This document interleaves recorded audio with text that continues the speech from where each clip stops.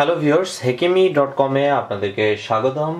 আর আজ আমি আপনাদের চারটি যৌন রোগের বা যৌন সমস্যার চিকিৎসাপত্র সম্পর্কে বলব এবং সেটি ভেষজ ও আপনার বনজি যে ঔষধি যেসব জিনিসপত্র আছে, সেগুলো দিয়ে কীভাবে আপনারা ওষুধটি তৈরি করবেন, সেটি সম্পর্কে বলব।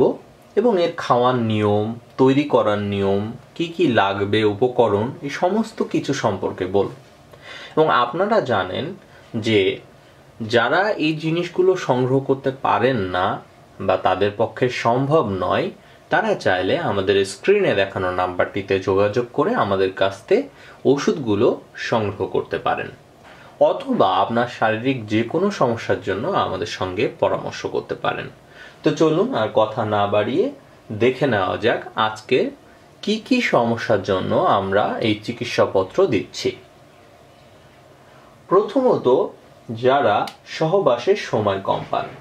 দ্বিতীয়ত, যাদের বীর্য পাতলা হয়।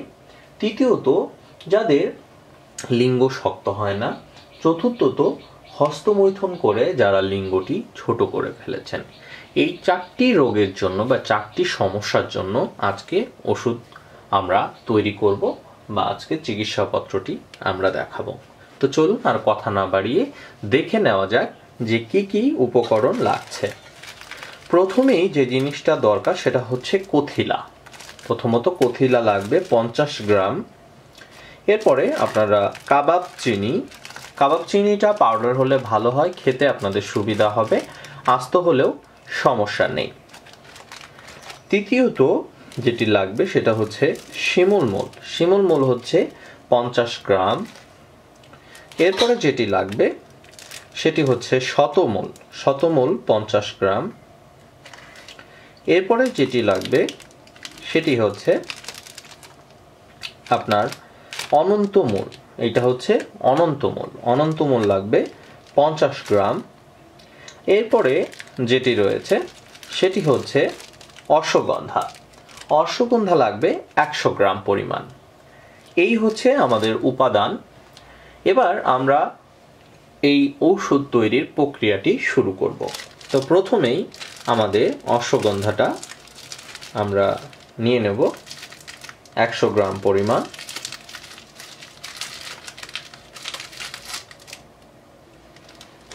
আমরা অশ্বগন্ধা একশো গ্রাম পরিমাণ নিয়ে নিচ্ছি।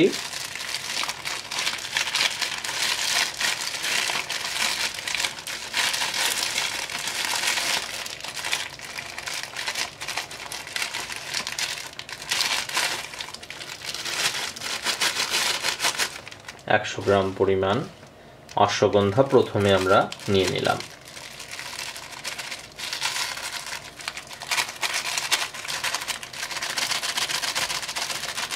এই পাউডারগুলো আসলে অনেক ভেজাল হয় বা ভেজাল মেশাই। তো সেক্ষেত্রে এগুলো ক্রয় থেকে সতর্ক থাকবেন এবং যারা এগুলো নিজেরাই তৈরি করে নিতে চান, তাদের জন্য অবশ্যই আমি পরামর্শ দেব যে আপনারা একটু বুঝে শুনে জিনিসগুলো কিনবেন বা আস্থাভাজন জায়গা থেকে কিনবেন। না হলে আপনার শারীরিক কোনো উপকারই হবে না বা আসবে না। আর আপনাদের যদি সেরকম কোনো আস্থাভাজন জায়গা না থাকে, আপনারা নিঃসন্দেহে আমাদের কাছ থেকে অর্ডার করে জিনিসগুলো ক্রয় করে নিয়ে আপনারা চাইলে আপনারা নিজেদের জন্য তৈরি করে নিতে পারেন ওষুধ।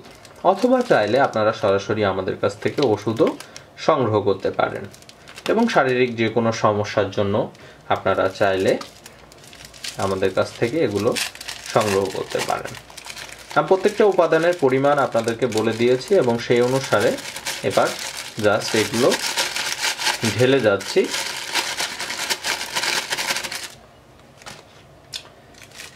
এবার শিমল মোলটা দিয়ে দিচ্ছি।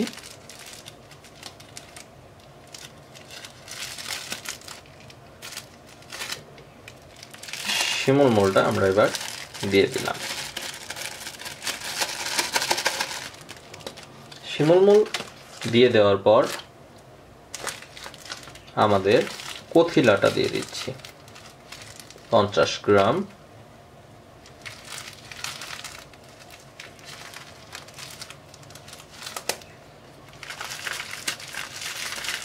পঞ্চাশ গ্রাম কথিলা দিয়ে দিলাম। ব্যাস, পঞ্চাশ গ্রাম কথিলা দেওয়া হয়ে গেল। এবার আমরা কাবাব চিনিটা দিয়ে দিচ্ছি।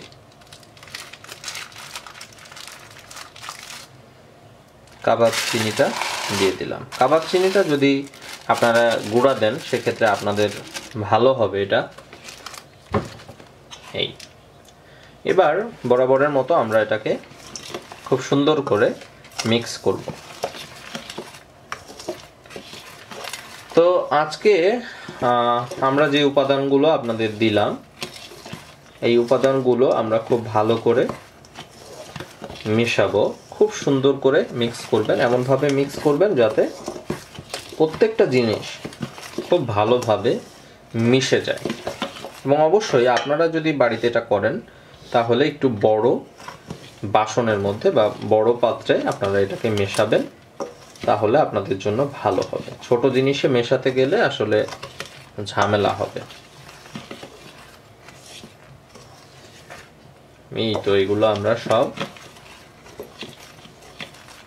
মিক্স করে দিলাম। খুব সুন্দর করে।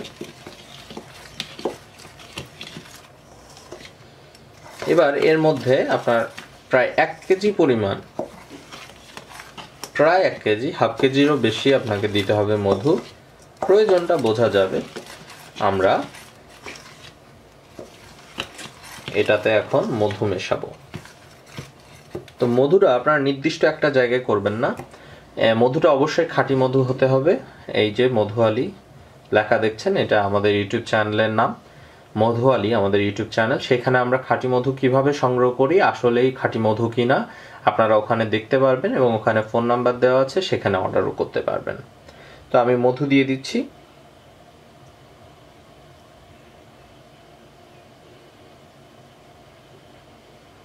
পর্যাপ্ত পরিমাণ মধু দিতে হবে। তা আমি খুব সুন্দর করে ঘুরিয়ে ঘুরিয়ে মধুটা দিলাম যাতে সব জায়গাতে মধুটা লাগে, শুধুমাত্র এক জায়গায় না থাকে। এবার সুন্দর করে আবার মেশানো শুরু করুন। এখানে যে পরিমাণ জিনিস আছে, এটা এক মাস, একজন ব্যক্তি এক মাসেরও বেশি খেতে পারবেন। এবং আমার মতে আপনারা আমাদের, আমি আপনাদেরকে যে পরিমাণ বলেছি, সেই পরিমাণ থেকে অর্ধেক করে নিলে বেশি ভালো হবে। কারণ হচ্ছে এটা অল্প দিন রেখে অল্প দিন খেয়ে ফেলাটাই বেশি ভালো হবে। যদিও এটা ছ মাস পর্যন্ত আপনারা রাখতে পারবেন, তবুও আমার মনে হয় যে দ্রুত খেয়ে ফেলাই ভালো, যেহেতু এর মধ্যে কোনো কেমিক্যাল মিশ্রণ করা হয় না, এটাকে সংরক্ষণের জন্য, সেহেতু এক মাস পর্যন্তই এটা বেশি ভালো রেখে খাওয়া। হ্যাঁ ওর থেকে বেশি দিন রাখাটা আসলে ঠিক হবে না। ব্যাস, আমি আরও মধু লাগবে, আমি আরও মধু দিয়ে দিচ্ছি।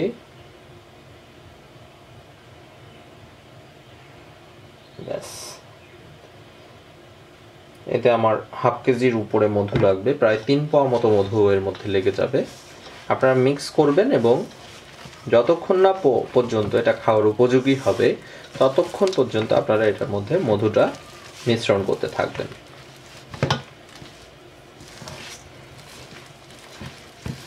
এই যে, আমাদের প্রায় হয়ে এসছে। এটা খাওয়ার উপযোগী প্রায় হয়ে আসছে। আমাদের খুব ভালোভাবে মিক্স করে নেবেন। এইটা মিক্স করতে আপনাদের একটু কষ্ট হবে, কারণ এর প্রচুর ঘনত্ব তৈরি হবে। সুন্দর করে মিক্স করবেন।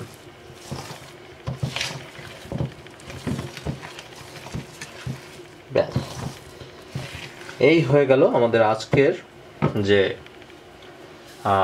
চিকিৎসাপত্র বা যে ঔষধ, আমাদের ভেষজ যে ঔষধ, সেই ঔষধটি। এখন এটা খাওয়ার নিয়মটা বলি।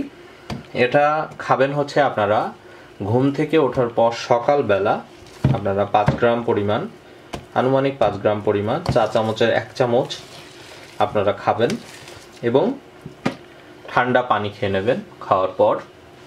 এরপর আবার রাত্রে আপনারা ভরা পেটে যখন ঘুমাতে যাবেন, তখন এক চামচ পরিমাণ খেয়ে, ঠান্ডা পানি খেয়ে ঘুমাতে যাবেন।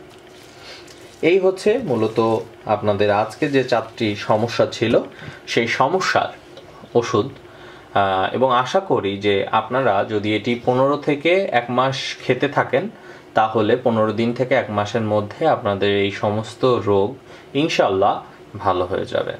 তো ভিউয়ার্স এই ছিল আমাদের আজকের ভিডিও আশা করি ভিডিওটি আপনাদের ভালো লেগেছে। আর ভিডিওটি ভালো লাগলে অবশ্যই ভিডিওটিতে একটি লাইক করবেন কমেন্টে আপনার মতামত জানাবেন এবং ফেসবুকে আপনার বন্ধুদের সাথে অবশ্যই অবশ্যই শেয়ার করবেন। ধন্যবাদ।